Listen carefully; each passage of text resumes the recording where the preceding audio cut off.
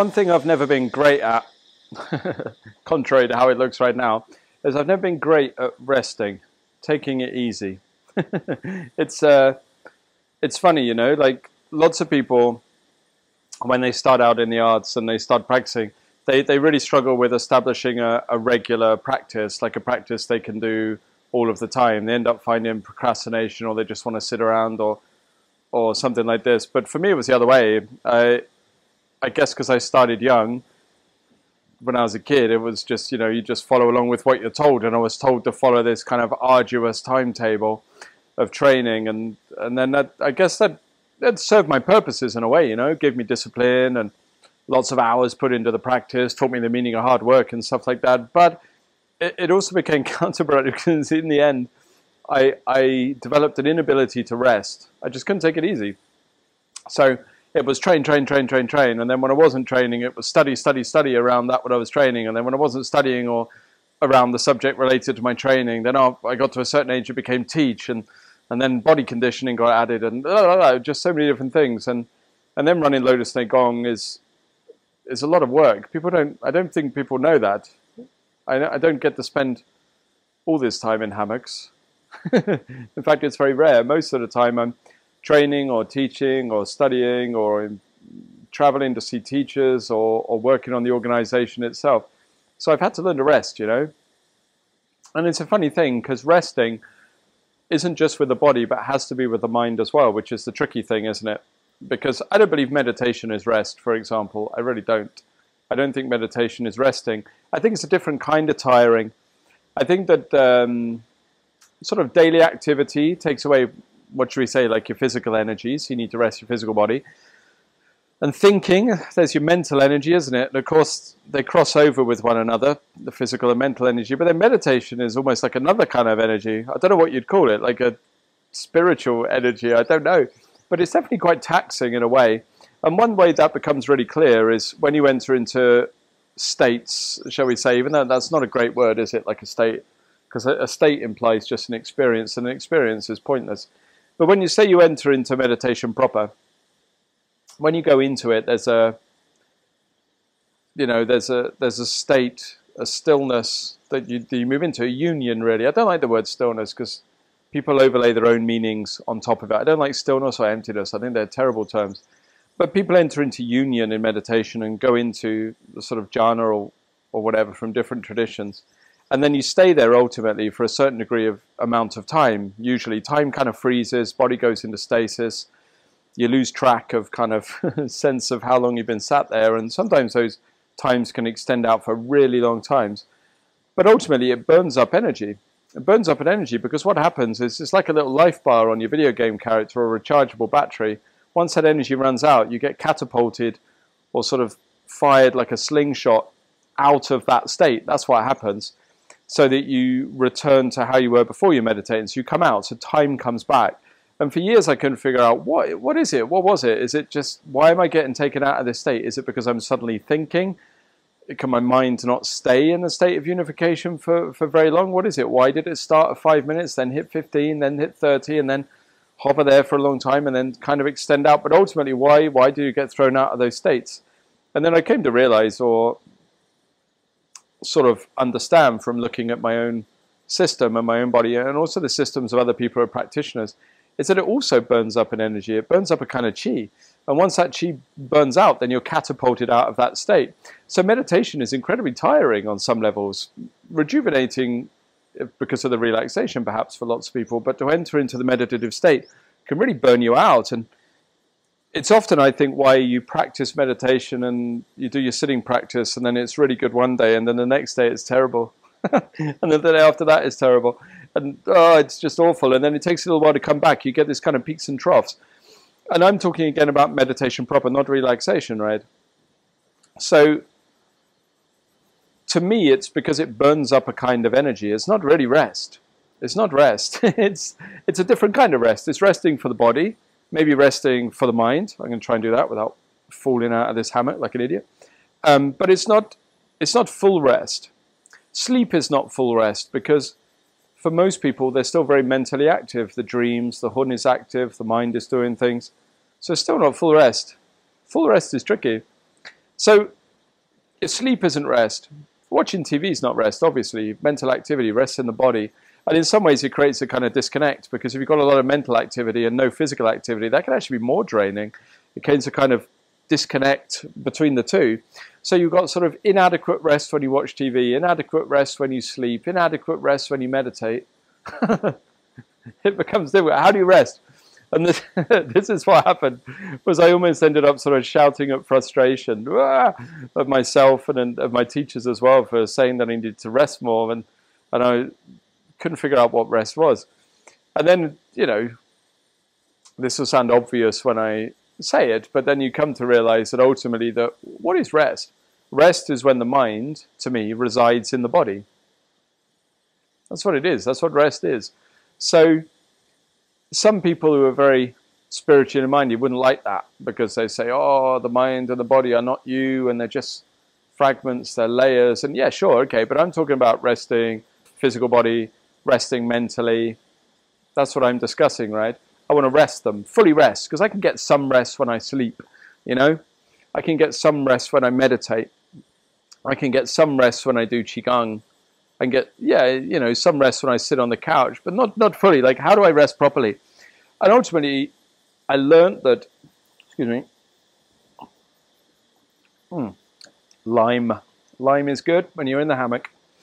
So ultimately, I learned that resting was when the mind and the body are with one another. So all of that attention that I'm talking about instead of intention, it's really the key to relaxation.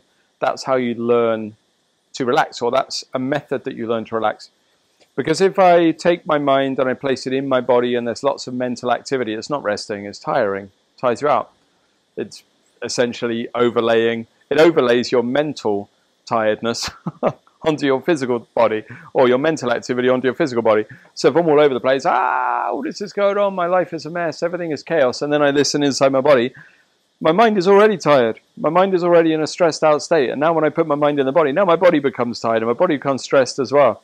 And this to me is a lot of the root of why some people, or many people I think, can start um, internal training and find it just tires them out. You know, it's like, oh, I went to this Qigong class, I went to this Neigong class, went to this meditation class, Tai Chi, yoga, I don't know, whatever it is people are doing. And I, I came for energy, but I was so tired. I just got drained. I just got exhausted. And that's what it is. It's because they're taking a stressed out, active mind that's tired and putting it in the body, and then it just overlays that quality onto the body.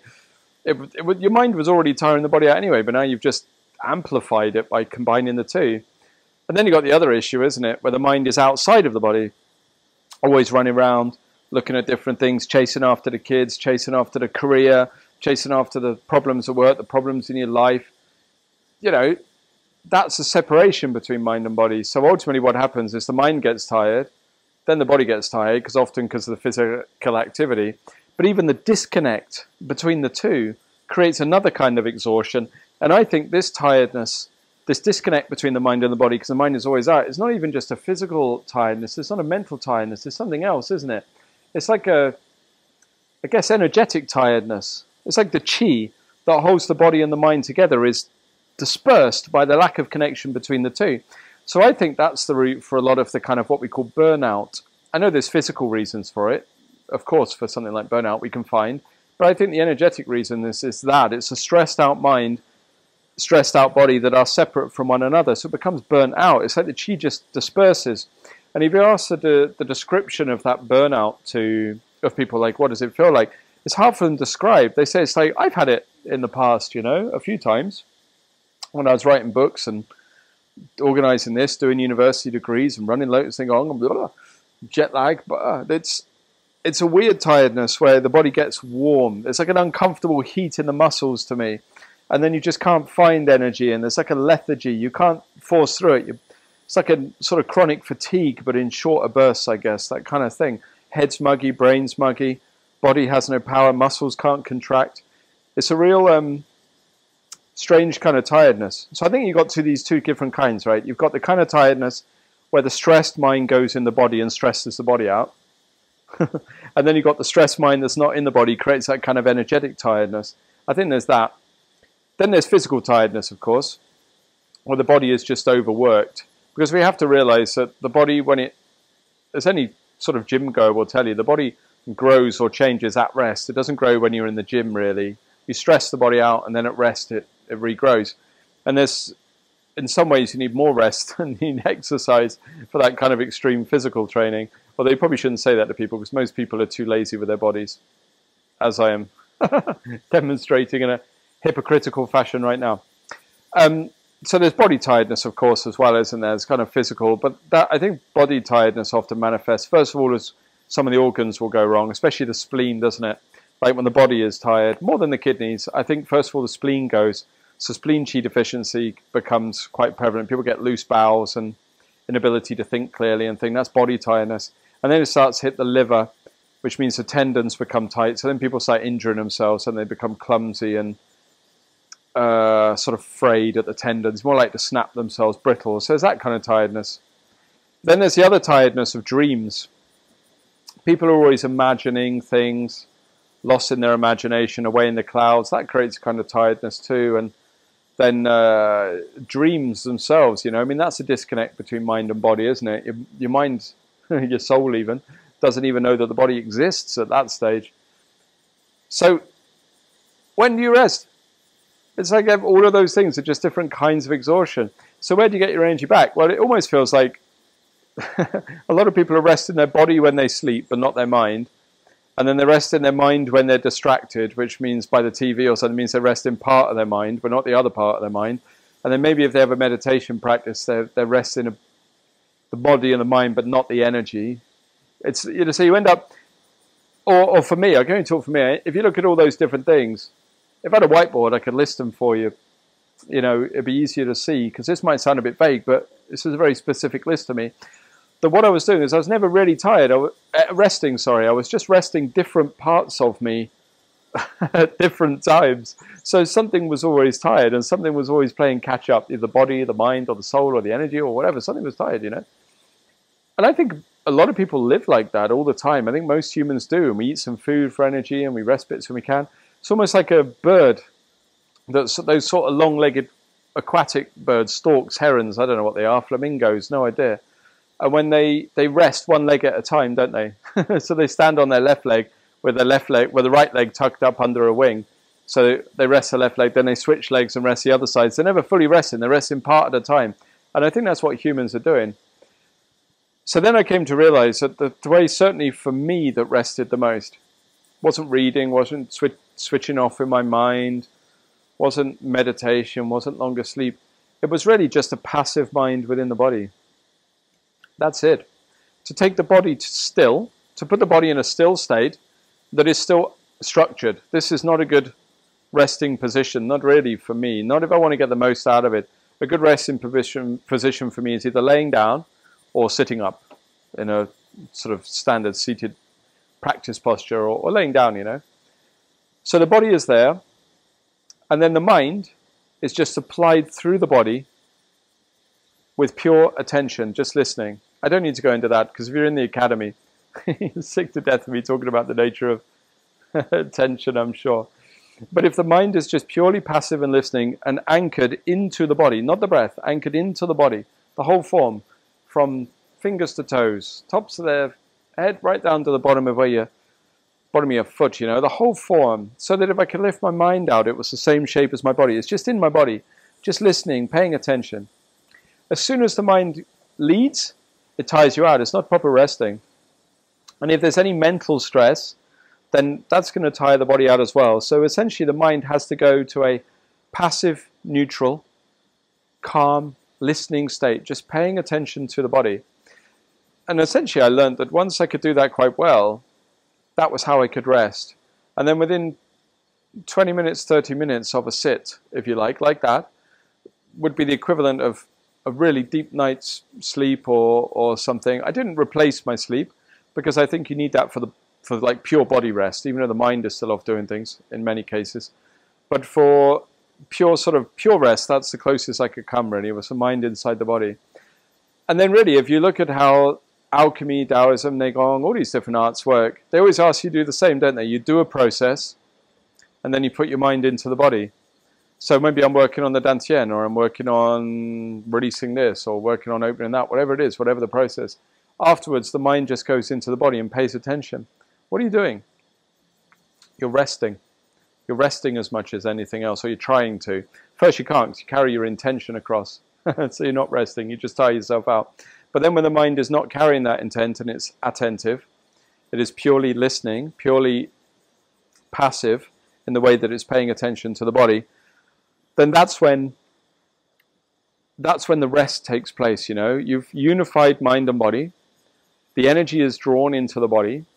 Neither the mind, the body, or the energy are disturbed. So there's unification of all three and of stilling of all three. That's when they rest. And at that stage, that's when really the process grows. So I've known people who do something like, for example, try to form and fill the dantian. Whatever, you can take any process. And they can try and form and fill the dantian for 20 years, 30 years. And they still struggle, you know. And then sometimes you either teach them or they find it or they cotton onto it themselves. This idea of unifying the mind, the body, and the energy through attentive listening. So all three are in one location, not spread out, not all over the place. And as soon as they learn to do that, then all of a sudden, all of their other work just works. All their practice works. Because now they've gone from doing to resting. And as soon as they rest, the rest allows the doing to unfold within the body. Because ultimately, the fruits of your labor are only ever experienced when you're resting. It's really what it comes down to. So, can we, you know, so I hope you understand that's a major thing, you know, learning to attentively rest. So, what do I do with almost all practices I teach? We do something, then you just sit and listen. Sit listen. Listen to what? The body. Do I do anything? No. That's the rest. It's not even passively switching off. That's not resting, is it? It's unification of mind, body, and energy, all in an attentive, neutral state. Now, the question would be could you rest on something higher? Rest on spirit, rest on soul. And for me, or, or whatever, whatever people want to talk about, true self, blah, blah, blah. For me, the jury's out. Because whilst I think there is a truth in it, you can. You can rest in something higher.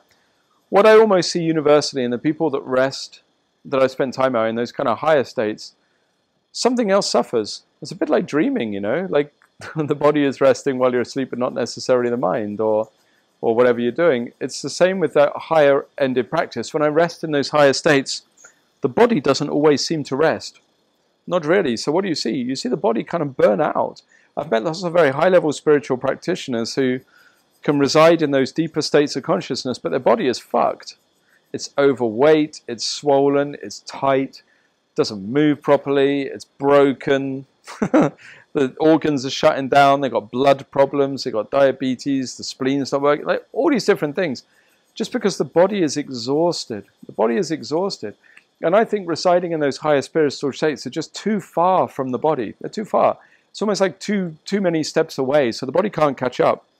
So, is that a hard and fast rule for all? No, no. There's exceptions, of course, but it's definitely the the norm amongst spiritual practitioners. And I think actually those ones that do manage to rejuvenate the body as well as the energy as well as the mind, all three, I think they actually don't spend as much time residing in those higher states as people might think.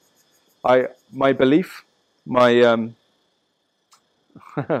my my understanding that I'm working to at the moment my current understanding, is that this is where their rest comes from, is the mind and the energy and the body residing in one place, attentively just listening to one another so that they can rest and, and build. It's the quickest way to build chi, as much as anything.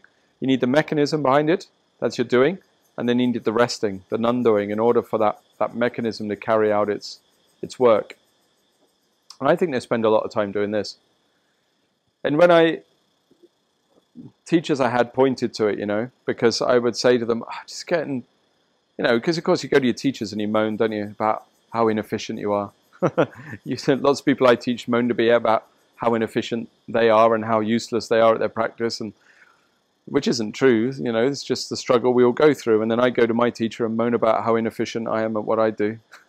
I'm a loser because I can't do this and I can't do that. And uh, you know, of course, the advice I just get back is, you need to rest. So like, oh, how do I rest? And then, of course, that would always come with the advice, sit and breathe. And that's really what they meant. For a long time, I misunderstood. I thought, oh, you remember just sit, breathe oxygen into the body, or sit and listen to my breath. But no, they, they just mean sit and be natural. let the body breathe. Pay attention to the body. Listen to the body. Let the body rest. Everything will come together.